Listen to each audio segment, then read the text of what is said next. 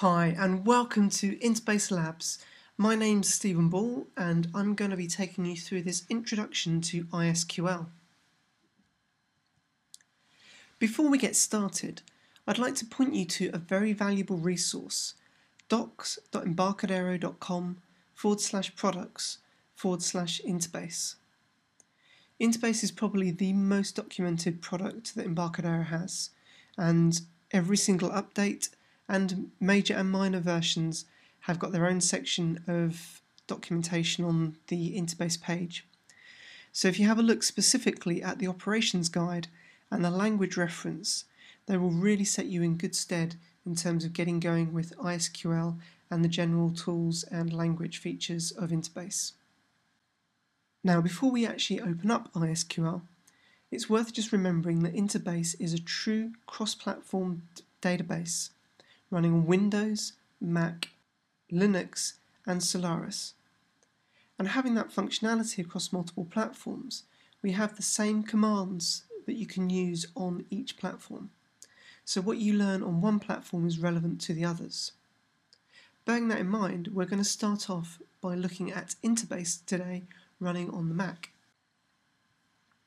So here we are on that um, docs.embarcadero page and you can see there's quite a lot on here all the way down to 7.5 upwards and if we go and have a look I've opened up this is the operations guide and we can see under chapter 11 interactive query there's an awful lot here to help you get going and including a really good command reference um, set um, and uh, notes on the command tools and so on.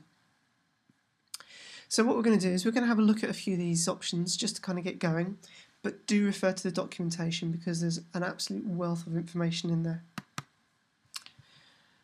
So we're going to start with the terminal window and I'm going to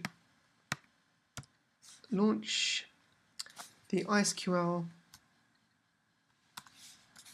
program from Applications Interbase Bin ISQL.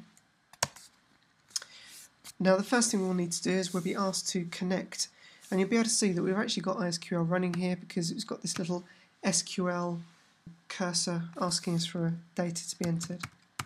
So I'm just going to put connect and let's just do applications interbase examples employee.gdb and you need to put the semicolon at the end just to finish the command. And we're now connected, we've got returned back that we're now connected to the database. So from here we can use any number of the commands that we have available to us. For example, we show tables, show table, let's have a look at the job table. So we can see the different fields, the field types, any check constraints that are against the fields. We can see any references that are going on in here. So we have a foreign key reference that references the country table on the, on the country field, and so on. Now we also have the employee table, so we could do select star from employee and use some SQL. And you can see this will now return us back some data. In fact, let's just maximize this so we can see more of the data. And you can see this is paging the results. So every page we'll then we'll get a new header. So we, as we scroll down, we can see what is in what location. However, if we don't actually want to see that, what we can do is we just quit out of ISQL quickly. We can relaunch ISQL with this minus page parameter and I'm just going to set that to a thousand.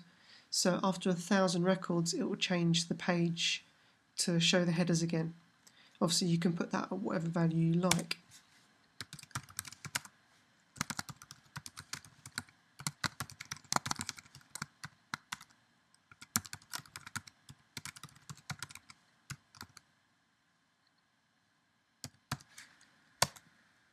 But if we connect in and let's run the same script again, select star from employee.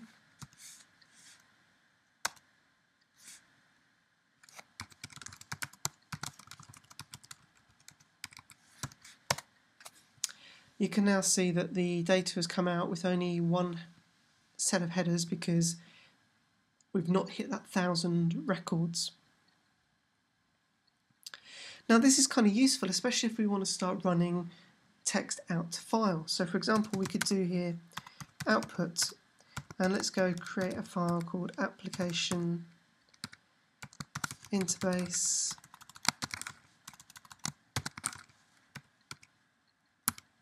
examples.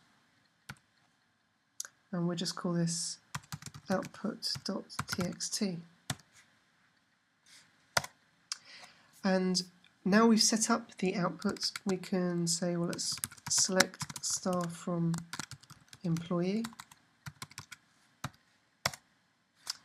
and let's select count from employee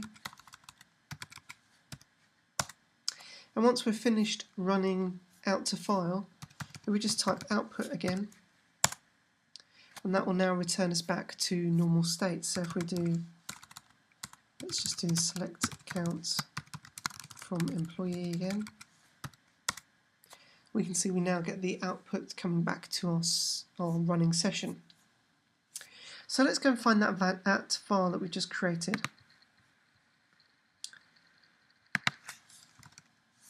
So if we have a look in the examples folder, we can see here we have an output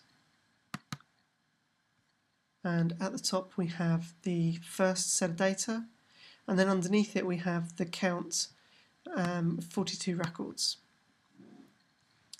Okay, this is quite useful, but sometimes you actually want to see what script you've run. So you can get that to come out by using the echo command. So let's quit out and we'll just relaunch using our minus page again but we can also use minus E for echo or echo.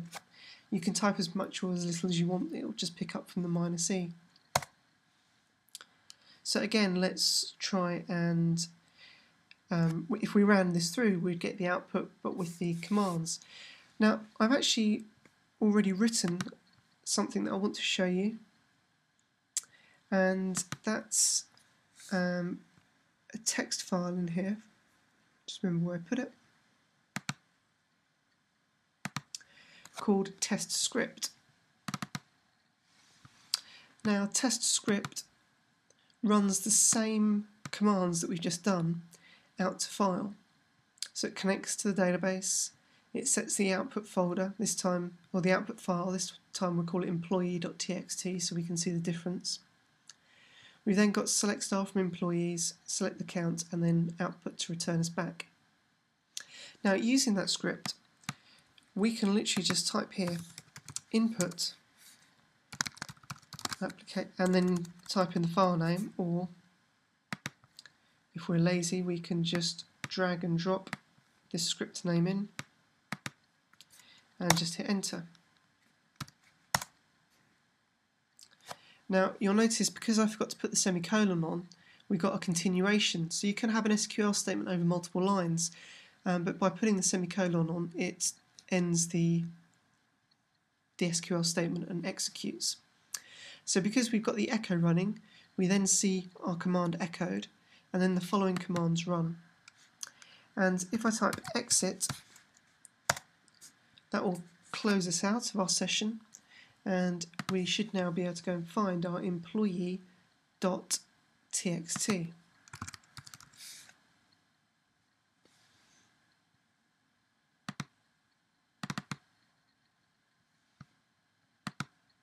So here we have our employee txt file and we can see that our echo has shown the select star from employee and the select count from employee before those statements are run.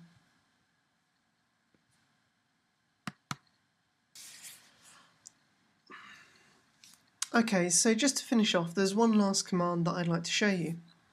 And we can see above here from our previous statement that when we select everything from employees table, we get a table running across the uh, the screen.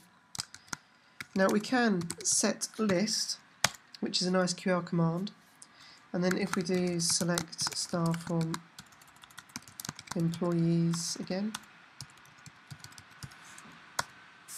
We can now see that our list goes down rather than across. So each record is printed out vertically rather than horizontally. To revert back, then we can just set list again, and that will revert us back. Now we can also type help set, and we can get a list of commands that we can use with set in our ISQL session. So, for example, we could set SQL dialect to 1 and we can see here we're getting a warning client SQL dialect has been set to 1 when connecting to database SQL dialect 3 database. So Interbase will try to help you out where it can but it is possible sometimes you might need to connect to a previous version of an SQL dialect. So there's the option to do that within there. And we can see here we get a warning that we've set to a dialect that doesn't match the database. So let's just set that back.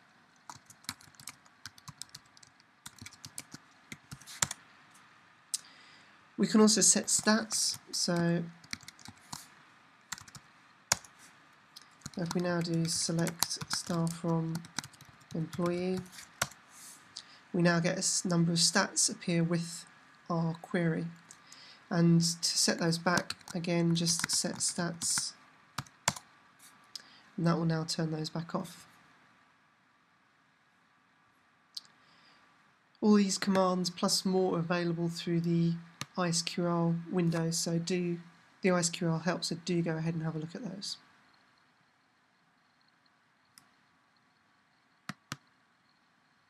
Anyway, that brings me to the end of our quick introduction to ISQL today. Just to finish off, we're just going to pull up our Windows VM here and just show you that the ISQL program here is located on Embarcadero Interbase bin and it's there for you to go and use and run and it brings up the same thing um, for you to type in.